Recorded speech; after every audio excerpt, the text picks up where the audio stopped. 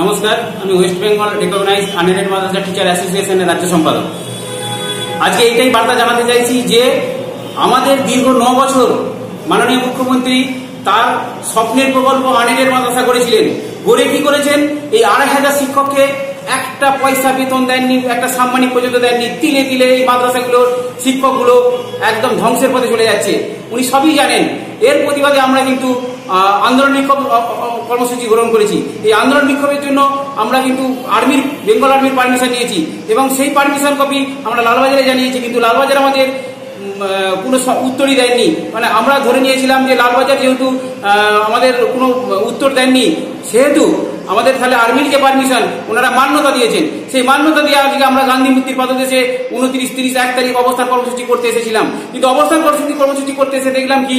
যে সকালবেলা থেকেই যে শিক্ষকগুলো উত্তরবঙ্গ থেকে শুধু দার্জিলিং, জলপাইগুড়ি, কোচবিহার যেসব জেলা থেকে শিক্ষকগুলো যা বাস থেকে নামতে শুরু করেছে, সঙ্গে সঙ্গে তাদেরকে অমানবিক আচরণ করে তাদের সঙ্গে টেনে হিজড়ে তাদেরকে অ্যারেস্ট করেছে, লকআপ করে নিয়েছে।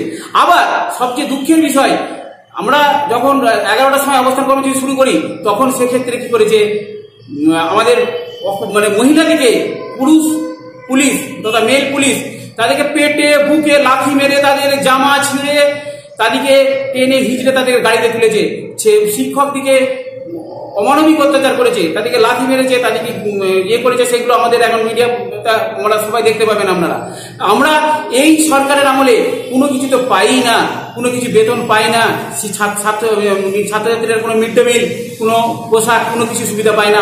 তারপরে এই প্রতিষ্ঠানগুলি বাঁচানোর জন্যে যখন আমরা অবস্থান কর্মসূচি করছি, তখন এই সরকারের অমানবিক আচরণের প্রতিফলন আজকে দেখা দেখা গেল যে এরা আন্দোলন করতে দিবে না। আমরা প্রপার পারমিশন নিয়ে, আমরা বেঙ্গল আর্মির পারমিশন নিয়েও আন্দোলন করতে এসেছি। সেই আন্দোলনটাকে ওরা নিমিষের মধ্যে কীভাবে লাথি মেরে জামা ছিঁড়ে, কীভাবে অমানবিক অত্যাচার অত্যাচার করে আমাদেরকে এখানে তুলে এনেছে। এই কথা বলে রাখি, এই আন্দোলন কিন্তু শেষ নয়। যদি ভাবে যে এইভাবে শিক্ষক সমাজ এবং জনসাধারণের মুখকে বন্ধ করে দেবেন, এটা ঠিক নয়। আমরা আনএডেড মাদ্রাসার শিক্ষকরা তিন দিনের অবস্থান কর্মসূচি নিয়ে আজকে গান্ধী মূর্তির পাদদেশে বসেছিলেন। কিন্তু পুলিশ যে আচরণ তাদের সঙ্গে করেছেন, তাতে আমি অত্যন্ত ব্যথিত। আনএডেড মাদ্রাসার শিক্ষকদের এই দাবি, এই আন্দোলন আজকে নতুন নয়। বছরের পর বছর ধরে তারা লড়াই করে যাচ্ছেন। সরকারের দেওয়া প্রতিশ্রুতিগুলোই কেবলমাত্র সরকারের পালন করে করার জন্যে তারা দাবি জানাচ্ছে। আমিও এই আন্দোলনের সঙ্গে প্রায় দু হাজার বারো সাল থেকে জড়িত। কেননা দু হাজার এগারো সালে পশ্চিমবঙ্গে পরিবর্তনের পরে আমাদের মাননীয় মুখ্যমন্ত্রী মমতা বন্দ্যোপাধ্যায় ঘোষণা করেছিলেন যে সাচার কমিটির রিপোর্টের কে সামনে রেখে তিনি রাজেন্দ্র সাচারকে দিয়ে কমিটি তৈরি করবেন। মুসলমানদের উন্নয়ন করাবেন, দশ হাজার মাদ্রাসা তিনি অনুমোদন দেবেন, যাতে মুসলমানদের শিক্ষার অনগ্রসরতা এবং পশ্চাৎপদতা দূর করা যায়। ঘোষণা মোতাবেক তৎকালীন সংখ্যালঘু দপ্তরের সচিবরা বিজ্ঞাপন দিয়ে দিলেন, প্রচুর মাদ্রাসা তৈরি হলো, অনুমোদন চাইলেন, কিন্তু অনুমোদন দেওয়া হলো মাত্র দুশো পঁয়ত্রিশটা। আর তাদেরকে বলা হলো যে দু হাজার তেরো সালের আটই ফেব্রুয়ারি পশ্চিমবঙ্গ সরকারের সংখ্যালঘু দপ্তর তখন ছিল রাইটার্স বিল্ডিংয়ে। তৎকালীন সংখ্যালঘু দপ্তরের ওএসডি এবং joint secretary PB Salim IAS officer. তিনি প্রত্যেকটি জেলার জেলা শাসকদের একটি সার- সার্কুলার পাঠালেন যে আনএডেড মাদ্রাসার গুলোতে যথারীতি মিড ডে মিল, ছাত্রদের পোশাক, বইপত্র, তাদের এমপি অ্যালটমেন্টের টাকা এমএলএ ফান্ডের টাকা অ্যাডিশনাল ক্লাসরুম এই সমস্ত সুযোগ সুবিধা যেন আনএডেড মাদ্রাসাগুলোকে দেওয়া হয়। কিন্তু সেই দু তেরো সাল আর আজকে দু কুড়ি সাল, এই দীর্ঘ সময়ের মধ্যে বহুবার এটা নিয়ে কথা হয়েছে। ফিরাদ হাকিমের সঙ্গে আমি একাধিকবার আলোচনায় বসেছি। যৌথ সাংবাদিক সম্মেলন করে মহাকরণে ফিরাদ হাকিম সাহেব নিজে বলেছেন যে, আনএডেড মাদ্রাসার শিক্ষকদের দাবিগুলো সরকার বিবেচনা করবেন।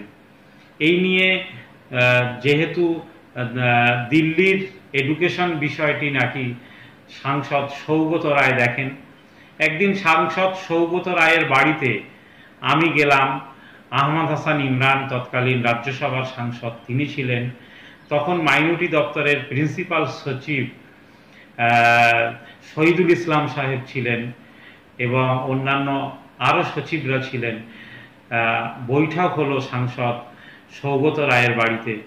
তিনি অবাক হয়ে বললেন, কেন? মুসলমানরা কি দশ হাজার মাদ্রাসা অনুমোদন পায়নি? আমরা বিষয়টা বুঝিয়ে বলার পরে তিনি দেখলেন বুঝলেন এবং বললেন যে তিনি বিষয়টি নিয়ে কেন্দ্রীয় সরকারের সঙ্গেও কথা বলবেন এবং মুখ্যমন্ত্রীর সঙ্গেও কথা বলবেন।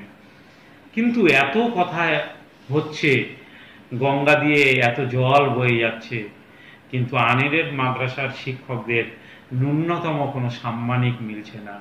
আজকে যারা বেকার, তারাও কিন্তু মুখ্যমন্ত্রীর বদান্যতায় দেড় হাজার টাকা তারা বেকার ভাতা পাচ্ছেন। আজকে ইমাম সাহেবরাও ন্যূনতম হলেও ওয়াকআপ বোর্ডের মাধ্যমে তারা একটা ভাতা পান। ইদানিংকালে পুরোহিতরাও ভাতা পাচ্ছেন। কিন্তু পোড়া কপাল কি কেবলমাত্র আনএডেড মাদ্রাসার শিক্ষকদের? যে বেকাররা বাড়ি বসে বেকার ভাতা পাবে দেড় হাজার টাকা, আর আনএডেড মাদ্রাসার শিক্ষকরা মাদ্রাসায় পড়িয়ে তারা মানে পাঁচটা হাজার টাকা পাবে না। তারা একটা পয়সাও পাবে না। এটা কি ধরনের নৈতিকতা এবং কি ধরনের সরকারের নীতি? আমি এটা সরকারকে ভাবার জন্য অনুরোধ করছি। এই সংগঠনের আনেড মাদ্রাসার শিক্ষকরা কলিকাতার গান্ধী মূর্তির পদদেশে নবৎসর ধরে তিনারা শিক্ষা বেতন না পাওয়ার জন্য গণতান্ত্রিক প্রক্রিয়ায় শান্তিপূর্ণ অবস্থান বিক্ষোভ করছিলেন। বড় দুঃখের সাথে বলতে হয়, গণতান্ত্রিক দেশে পশ্চিমবঙ্গ সরকারের প্রশাসন, সেই সকল আনএডেড মাদ্রাসার শিক্ষকদের, শিক্ষিকাদের, তিনাদের ওপরে অমানবিক যে অত্যাচার, লাঠিচার্জ করে এবং তিনাদেরকে জোরপূর্বক অ্যারেস্ট করলেন ফুরফাশে আলসন্নাতল জামাতের পক্ষ থেকে আমি পীরজাদা আব্বাস সিদ্দিকি এর তীব্র নিন্দা জানাই। কেন আমরা জানি মাদ্রাসা শিক্ষামন্ত্রী মাদ্রাসা শিক্ষক উন্নয়ন এবং সংখ্যালঘু উন্নয়ন মন্ত্রী এবং বর্তমান পুলিশ মন্ত্রী আমার রাজ্যের যিনি সিএম, তিনি নিজে খোদ নিজে তিনি সবটাই নিজে হাতে রেখেছেন। এরপরও দেখা যাচ্ছে আজকে আনেরের মাদ্রাসা এই শিক্ষক, শিক্ষিকাদের উপরে বারবার এই যে বঞ্চনা, বারবার এদের ঘরে যে অত্যাচার, বারবার এদেরকে আশ্বাস দিয়ে আশা ভঙ্গ করা হচ্ছে, এটা কেন হচ্ছে? এটা রাজ্য সরকারের জবাব দেওয়া দরকার।